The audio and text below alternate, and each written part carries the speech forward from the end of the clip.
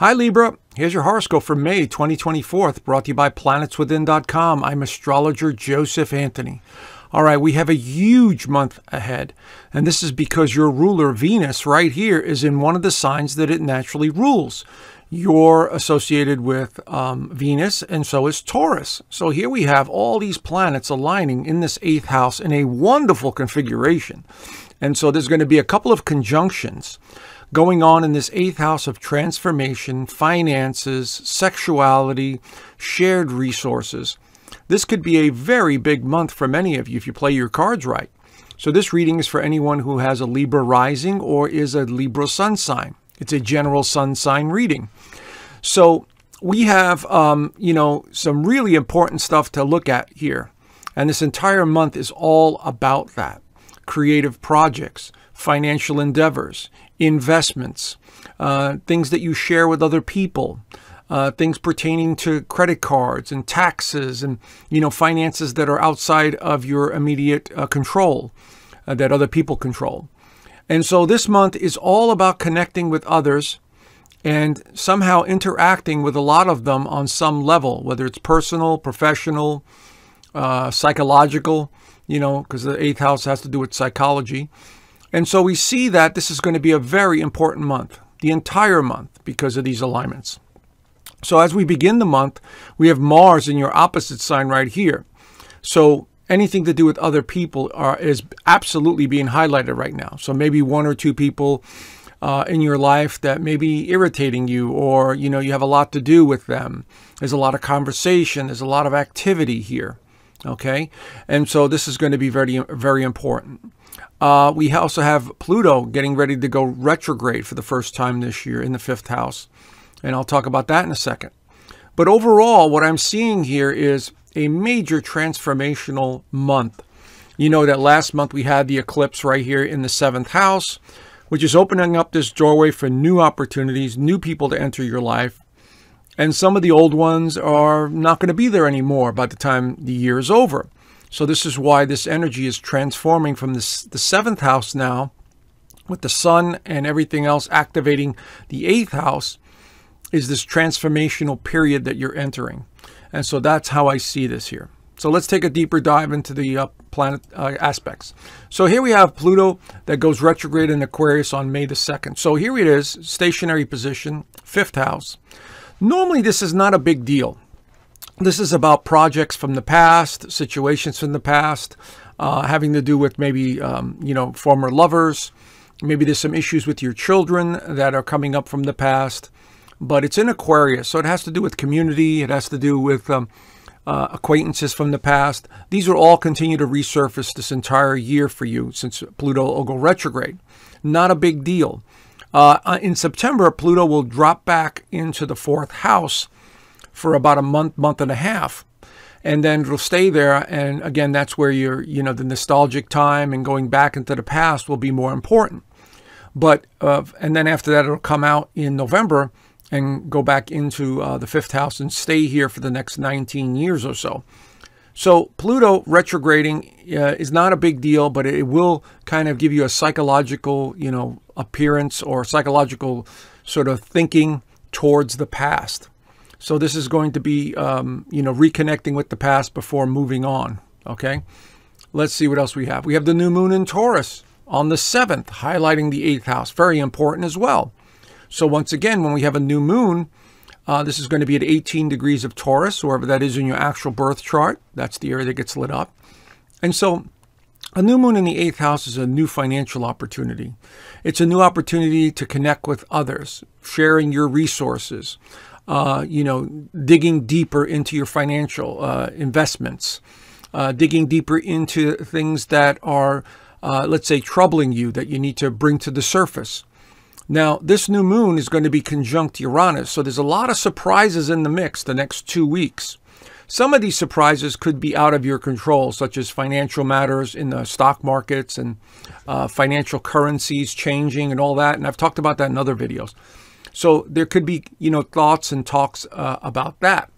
But for the most part, it looks like uh, something new is coming into the picture that you need to focus on. Some new opportunity, new job, new investments, uh, you know, new people coming into your life to help you in some way. And uh, that's how I see this. It's uh, it's it's making a good aspect to, to Saturn. So there's there seems to be a lot of work, or maybe you're doing something with your health that's improving your health. So I see this more as a positive energy, and not so much a negative energy. So uh, you know, Jupiter's also loosely in the mix here too. So I would say this is going to be something where you know it's something new that you need to really take a look at. Okay. Mercury also enters Taurus on the 15th and 16th right there. So you can see here now five planets in the eighth house. So this is a tremendous amount of energy here. Now Mercury in Taurus tends to slow things down a little bit. It's about getting back to the basics. It's also about um, you know realizing what's important to you, sort of your values. And with all these planets in Taurus, Taurus rules values. And so you are really evaluating your the meaning of your life, the purpose, um, what you're doing in this new project or endeavor, or possibly this new relationship that you find yourself in, possibly business or personal, uh, or both. And, and so Mercury here gives us an opportunity to slow down our thinking a little bit so that we could process information, so we could figure things out. And so over the next three weeks, this is what we'll be doing with Mercury going through Taurus. We have next Venus conjunct Uranus. Well, the 18th is spectacular. So we have Venus conjuncting Uranus. So this could be surprises again in the financial sector, but it also could be surprises with relationships. So be very aware of that. Because at the same time, we also have the Sun conjuncting Jupiter at 28 degrees. So there's so much activity here in this eighth house. It's like almost, I hate to say it, but it's almost like kind of winning the lottery in a sense you know, with all this positive energy flowing in. And so I would say, don't be afraid. Uh, you know, do something out of the ordinary or try something different because the planetary alignments that I'm seeing here tend to favor you at this time, uh, financially, especially, or attracting other people, especially. Uh, both of those two because this is such positive energy. Sun conjunct Jupiter does things on a big scale and it's happy go lucky. You know, Venus conjunct Uranus, surprises and, you know, excitement and something different out of the ordinary. And so this could be a very uh, splendid uh, alignment for the 18th. Now, of course, the energy will keep leading into it up to the 18th, and it'll still be in effect past the 18th. But once the sun moves out of Taurus, then the energy weakens a bit and it goes into, you know, Gemini, which it does here on the 20th. So you have a couple of days to utilize this energy. So on the 20th, we have the sun moving into Gemini, also very favorable for you because uh, Gemini is an air sign just like yours. So a need for communication is absolutely highlighted. So in the ninth house, it's about exploring, it's about traveling, it's about your philosophy, the meaning of life, the purpose, your religious beliefs. And so you'll be questioning all of that.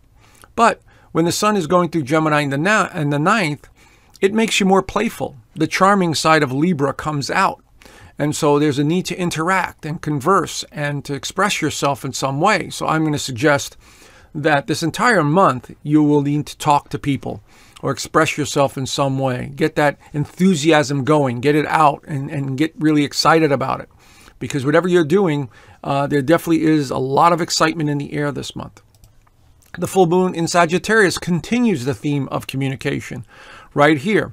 And uh, this is going to be at 2 degrees of Sagittarius, wherever that is in your actual birth chart. That's the area that gets lit up.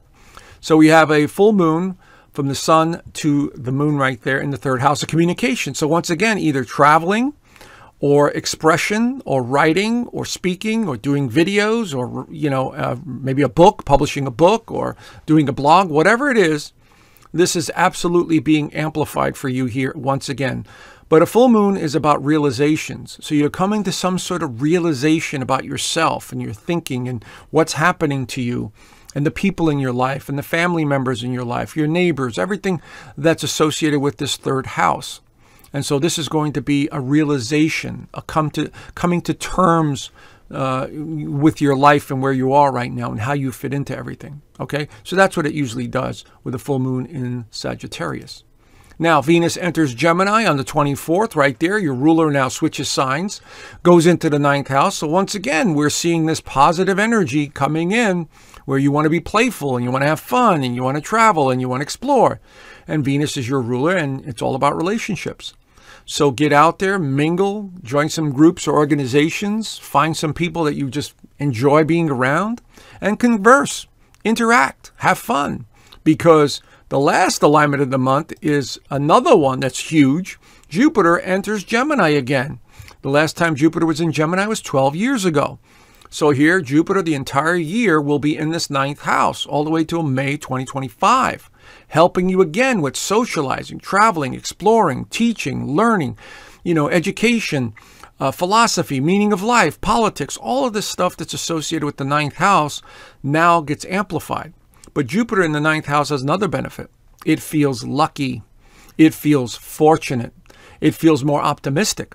So this is going to be a very good time for many of you if you play your cards right and you stay out of fear and doubt. Okay, so this is this is a month where it's going to completely change your thinking and the way you see yourself and the world and your belief systems. So go ahead and move forward with your plans. All right? Well, have a great month, Libra, and I will talk to you guys soon. Bye for now.